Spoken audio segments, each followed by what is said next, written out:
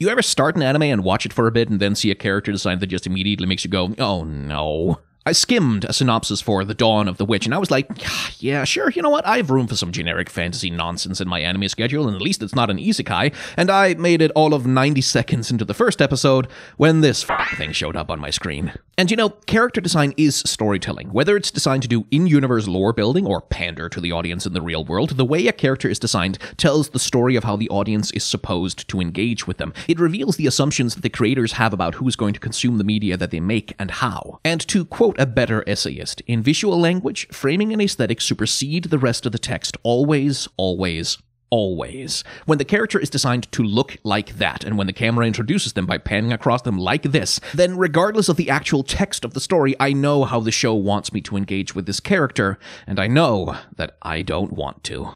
So hey, what's the last anime that made you go oh no like that? Warn the rest of us in the comments.